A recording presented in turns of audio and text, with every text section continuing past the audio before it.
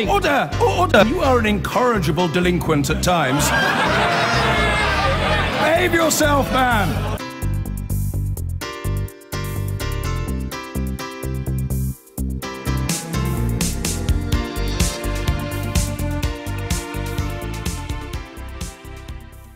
Back to UK politics now. The old rule is that divided political parties can't win elections. That adage uh, will surely be tested at the next election as both main parties are divided at the moment. But Conservative infighting is the more engrossing right now, which made us think we might ask, what about Labour? Is it at the start of a long march back to Downing Street or is it just a few steps from oblivion?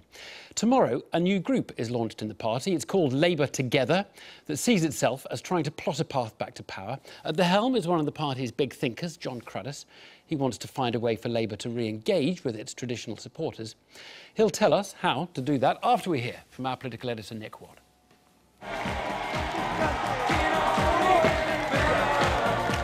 As a new dawn was breaking over London's South Bank half a generation ago, the Labour Party embarked on its longest unbroken spell in government. The weather is grimmer today and the prospect of power seems further away than ever. But after a full start, a new group has been established to try and rekindle that spirit.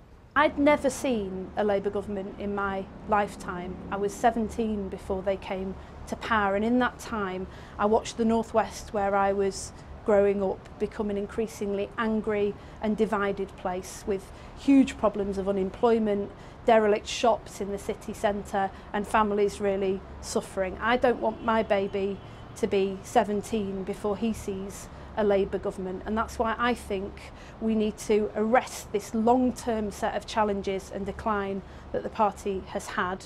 In public, Labour has been engaged in something of a civil war in recent months with endless plots to replace Jeremy Corbyn. Members of Labour Together who've been pained by the infighting agree that he is unlikely ever to be Prime Minister. But they believe that Jeremy Corbyn is here to stay, which means the work on charting a course back to government needs to begin now, guided by Labour leaders across the country exercising power in local government building Labour's credibility depends on showing that Labour can be prudent in government, that we understand, you know, the needs of managing budgets properly and working within the parameters that are set for us. Labour Together is at pains to say it is not forming a Blair tribute band, although its mission draws on an essential lesson from the new Labour era. Unless the party forms a broad coalition, it will never win back power. But the group does say that Labour became so disconnected in office, it now has its work cut out to win back the trust of voters. What Labour Party members wanted was something different to what had lost two elections in a row, and that's the situation that we were in. One of the great things about Jeremy is he's brought in hundreds of thousands of new members into the Labour Party. They are an asset, they are a resource. They are people we can use to connect with people out there, but we don't do it by shouting uh, at the voters. We do it by engaging with them, by campaigning with them, by delivering change on the ground. We rebuild credibility from the ground up in this party. That's the way politics works now. They were called champagne socialists, but they're clearly very incompetent. Labour Together knows the party will only secure a comfortable Commons majority if it wins back voters in Middle England parliamentary seats such as Stevenage, they finally found a corkscrew and rather perilously opened Where New Labour's 1999 success was celebrated, eventually, in some style. But Jeremy Corbyn may be a harder sell in such seats. We have a job to do to reshape the Labour Party so that it speaks to everyone uh, across the country. And Jeremy's leading on that process. You get the right person for the right moment, um, I think, often. And I think Jeremy's sort of very open approach to things will help us to reshape our party. And then where we go to for the future, who knows? While the new group is wholly aware of the weaknesses of Jeremy Corbyn and his predecessor as Labour leader, it says the era of sniping and plotting is now over. We need to stop the battles, we need to stop the civil wars, we need to get back together and focus on the people of this country and how the Labour Party makes life better for them. Sadiq Khan's recent victory in London has buoyed the party as it agonises over how to chart a route back to power. Even David Cameron was forced to pay tribute to the new mayor when they made a joint appearance on the referendum campaign trail.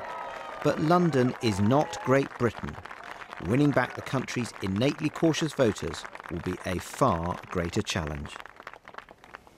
Nick uh, Watt reporting. Well, an hour or two ago, I spoke to Jon Cruddas, who's leading the Labour Together group, which launches tomorrow. I spoke to him from the sunny west coast of Ireland, in fact, where he's on a break. Uh, Jon Cruddas, does Labour need another group to pontificate on the fate of the party? We have Labour Together now, Labour First, Progress, Compass, Momentum, Left Futures, Consensus. If you had as many votes as you had groups, you'd be uh, on your way to victory. Well, I don't quite look at it like that. I think it's uh, healthy. I mean, it's a positive contribution we want to make to the future of the party. Why do we need it? Well, we've just come off the bat of two terrible election defeats. So um, all ideas need to be put into the mix from all parts of the party in, in the spirit of um, civility and goodwill and pluralism. And I think um, it will be a very constructive contribution that we'll make over the next couple of years. I mean, Jeremy Corbyn, people are saying now, Jeremy Corbyn isn't going anywhere before the next election. I, I, you agree with that, don't you? Or, or is he potentially not going to be leader by the time of the next election? I don't think he's going anywhere, no. I mean, I think actually the results of a few weeks ago have put paid to a lot of the simplistic assumptions of leadership challenges. I think we've all got to roll up our sleeves and make uh, contributions to the future of our party. We're duty bound to do so. I think we also have to respect the mandate that Jeremy's got and we have to respect the office of the leader of the Labour Party. There's a gap between the voters and a gap. And, and, Jeremy Corbyn isn't there on all those issues immigration, how you approach the economy, welfare. These are things where Jeremy Corbyn and his supporters, who will keep him there, are just in a very different place to a lot of people we thought of as core Labour voters. No? Yeah, I think that's right. I think that's right. But at the same time, he has a massive mandate from the party. Um, we have a few years to try and work through a positive policy programme. I think you can see over the last few months that you know, they're, begin they're beginning to tighten their sort of operation in and around the leadership of the party. And I think there's grounds for optimism over the future next couple of years. Yeah, but if you believe, and your analysis is, that Jeremy Corbyn is a million miles from the people who need to vote for you, just give me one reason as to why you're going to close that gap and win the next election. I mean, I don't know if we're going to win the next election. I just feel duty bound that all people who hold office in the party should positively con contribute to the future direction of the party. Now, I'm not underestimating in any way the difficulties we face. Arguably, as I said, we've had the worst defeat in our history. So I don't think um, I'm being over optimistic about this at all. All I'm saying is that we all need to positively contribute to the future. Now, look, I just wonder if we could just talk about Europe a little bit, because there was a very interesting poll this morning that indicated something like 45% of Labour voters were confused, really, as to what the party's position was in the forthcoming referendum. Does, does that surprise you, that the people don't basically know where the party stands on this issue? It didn't surprise me at all, actually. Um, if you come to my constituency in uh, East London, you would uh, have a lot of conflicting views on the ground about where the party stands, people's views about Europe. There's a long way to go. Um, it's going to be a pretty turbulent few weeks. I see from some of the polls that the Brexit case is uh, growing, it looks like, in terms of the uh, support it's, it's uh, getting in the country. Um, so we'll see how it all sort of shakes down over the next couple of weeks. But it doesn't surprise me, no. You're not surprised that people don't know where the party stands on what is such an important issue. I mean, that's a pretty a pretty poor state of affairs, isn't it, if, if, if, people are confused about that? All I was saying is I'm not surprised by some of the opinion polling we're seeing on this European question. Um, that's not to say that the Labour Party is not united in terms of support for remaining in. It's simply to report back on some of those polls that say there's a lot of confusion out there about the Labour position. Can I ask where you are on the EU? Because it might be that the reason the public are so confused about Labour's position is that a lot of Labour people seem quite confused. Are you clear about your opinion on how to vote in the referendum? Yeah, yeah. I'll be, I think, voting to stay in. Um, I, I, you know, I think we've heard, we haven't heard enough about the democratic reform of Europe. We haven't heard enough about trying to challenge some of the corporate stitch-up. Um, but to me, it's just such a big bet to leave that uh, I'll be voting in favour.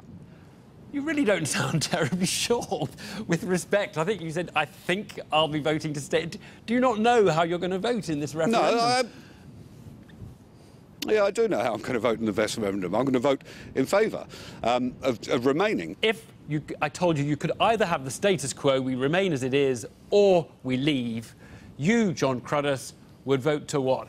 Well, uh, that's a false choice. I'm sorry, this is not a politician's answer, but I, what I would want to see is a positive case of staying in, but on the basis of a much more aggressive reform agenda in terms of the role of the European Commission and the democracy within the Union. Now, that I think is what you'll see put out in over the next few weeks by John McDonnell, the Labour leadership, J Jeremy Corbyn, and I think that will be warmly welcomed across the country and will strengthen the case to remain, and that's what I would like to do.